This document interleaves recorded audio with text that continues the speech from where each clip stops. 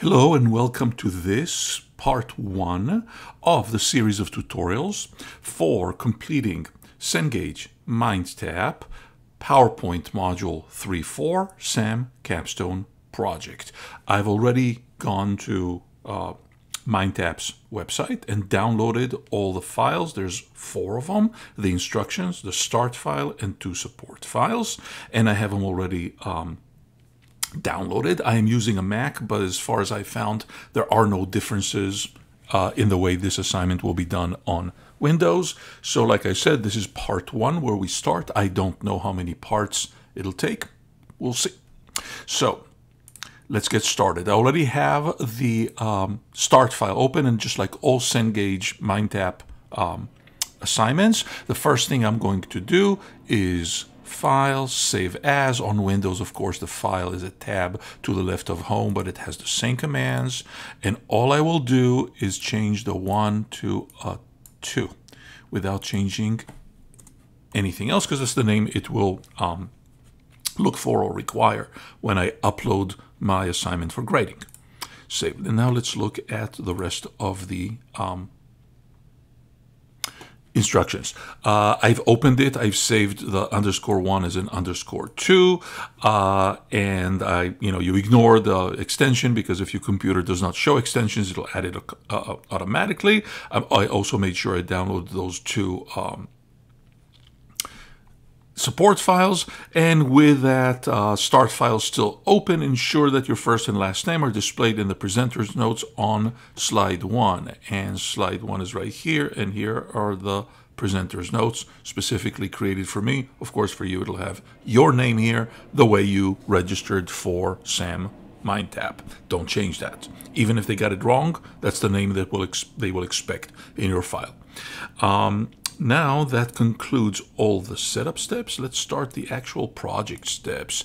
Um, so the uh, cover story is that there's a Detroit transportation department and they're setting up like a, a Detroit bike share. You can read this on your own. Let's start with actual things to do we will insert the audio. They want like background music, which is the support file that ends with the word music and it's an MP3. And we will start by doing that. I'm on slide one and I'm going to insert and I'm going to find audio, which is all the way to the right, audio from file.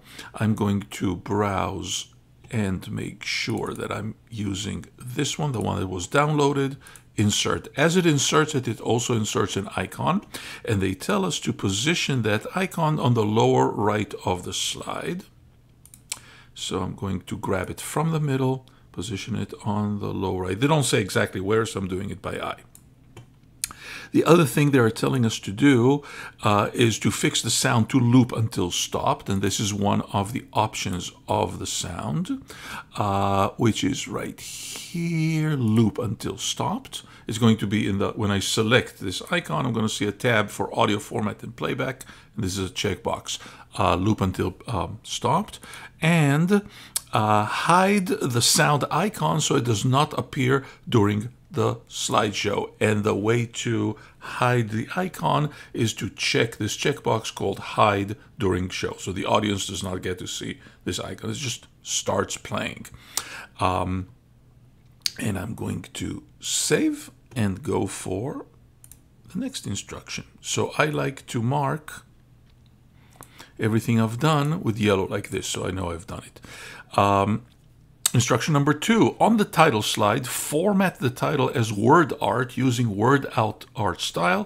Fill black text color one show, which is the very first one, first column, first row, to change the title apart from what happens. Now, when they're telling us to format the title as word art, there isn't really a button that formats, this is the title, the title as a word art. We're basically going to have to create a new word art based on this text. So I'm going to highlight it because there's convert to smart art, but this is really where, you know, that's not what we're going for.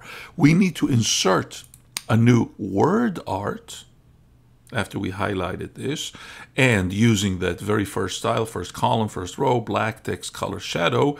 When I click on it, it actually creates a new um, title with that word art style, which means now I'll have to do two things. I will have to take the original title, right click and cut, and it disappears. Sometimes you have to do it twice because it creates another placeholder. Right click, notice how I'm clicking on the edges to create it, to select it all. Right click and cut again. And now I have only this, which I can move in to become the new title. They're not telling us to change any of the, um, where to position it or to change uh, the font size or anything like that. All they're going to look for is that instead of a title, you get a word art with the same words. Save. If there's a better way to do it, I haven't found it yet, but this is definitely one way to do it, and I tested it and it gives me the points. Um, so that was number two. Number three, on the title slide, we're still on the title slide, improve, improve the appearance of the picture as follows. Correct the brightness and contrast uh, to use uh, uh, use the setting brightness plus 40, contrast minus 20, which can be found, this is the easy part, fifth column, second row in the section of corrections. Fifth column, second row. So I select the picture, I go to picture format, and I go to corrections, and I go to one, two, three, four, fifth column, second row, and I find brightness plus 40, contrast is it negative 40? Let's make sure I'm doing the right one. Oh, it's on the, it's only on the brightness contrast group, uh, only on the brightest co contrast section. So I, I, was counting wrong. So corrections, and I'm not going to sharpen soften, I'm going to brighten, uh, brighten contrast. One, two, three, four, five. And then second row, which is, yep, the one they want brightness plus 40, contrast minus 20, and it makes the picture look way better. Save. Next, that was 3A. Let's do 3B. Soften the picture by 25%, which is in the soften effect, second column, first row. Same place. Corrections. And sharpen soften, I'm going to soften by 25%. This one click. And it just softens up the picture so it doesn't look like harshly um, sharp too much. Next, uh, soften the picture. Yep, just did that. So we're done with step number three. Let's do step number four. On slide two, how it works, modify the background picture as follows to make the foreground content easier to read. So first of all, let's go to slides two and it's definitely not very easy to read. So to change background, all I got to do is find like an empty part of the background and right click on it and format background. And a pane opens where I can um, select all kinds of things about the background. What do they want me to do? Um, change the transparency of the picture to 25 uh, to 75%, and that is done right here instead of zero. I'm going to change the transparency to 75. I could use, you know, typing, I can use the steps and so on. So now it's still there, but, you know, it can barely be seen. Uh, and the other thing they want me to change are the offsets. And they're saying to change all the offsets to zero. Let's read the language. Uh, change the offset top and bottom to zero because the other ones are already zero. So this one, zero, and this one zero. It just makes sure that it's stretched evenly across the, um, the slide. And save. And that was step number four. Step number five, uh, remaining on slide two, apply the same word art style to how it works as you did on slide one. So we're just going to do the same thing. We're going to take the title, how it works. We're going to go to insert word art and use the same style, the very first one.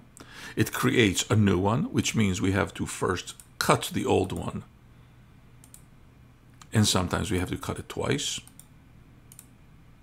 to move the new one instead. It doesn't tell us where, so I'm going to put it wherever I want. I can always look at the solution at the very bottom of your instructions to get a clue like, see, they want it pretty much like uh, close to the top left corner. So that's where I'm putting it. Um, and save. And before we're done with slide number two, remaining on slide number two, apply the same word. Yep, we just did that. With slide number two still displayed, insert a smart art as follows to illustrate how bike sharing works. So we're going to use the content placeholder to insert the accent process smart art from the process section to choose a smart art graphic um, dialog box. And here's what we're going to do. Um, there's a place, uh, uh, there's a uh, content placeholder, and what they want us to do is insert smart art, which is right here. And then we get uh, different types.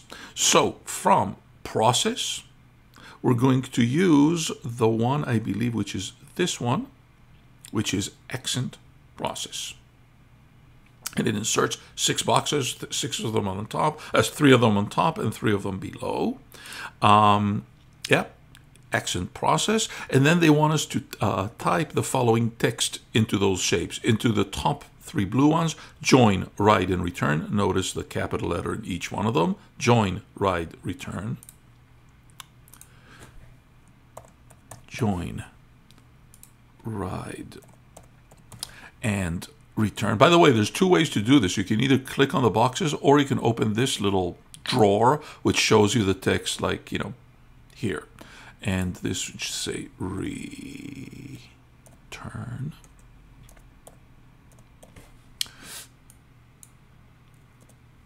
And on the bottom boxes, they want reserve, get around, lock and go. Each one of them starting with a cap. Reserve, get around, lock and go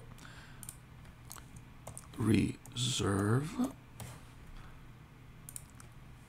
get around lock and go. Just make sure you pay attention to spelling because the bot that's grading your assignment is going to see a spelling error as simply the wrong text. And save. Let's do one more step. Uh, we just did step number six. Step number seven, remaining on slides two, modify the smart art as follows to add missing step and improve the clarity of the program. We're going to add a new shape to the right of join. So the way we're going to do that is we're going to select join and we're going to go to, uh, is it under format? Let's see, smart art design. Um, yeah.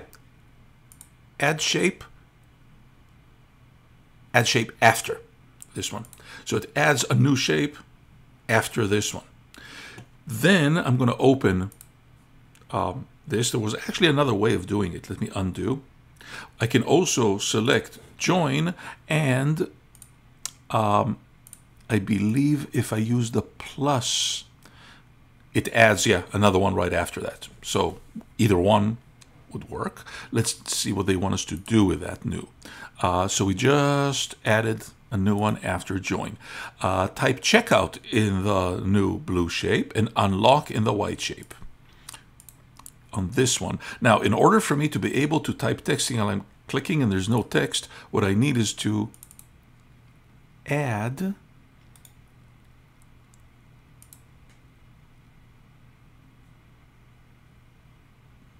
way to add text is um, see it doesn't let me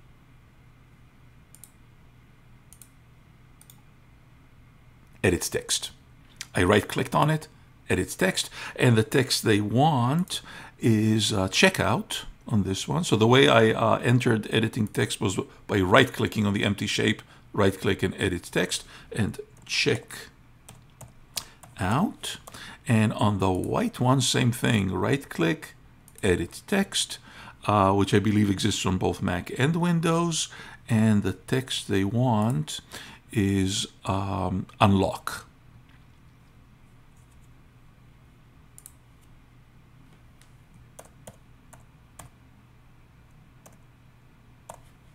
Let's see if this matches the final picture. Actually, there's one more thing to do. Change the smart art style. The whole smart, aisle, uh, style to intense effect. So what I will do is click on the borderlines of the Smart Art to select it all. And under Smart Art Styles, I would look for intense. I'll just roll over my mouse until it says simple, outline, subtle, moderate, intense. Here it is. And it changes the whole thing into the intense. And I will save and I will look at the final example of what a solution should look like. And yep, it pretty much looks like this. I can, you know, select this. This is in Word. And I can zoom in. Yep, it looks exactly like what I have. Check out, unlock. Cool. I will stop this part of the tutorial. We have just reached the end of step, let's see, I think number seven.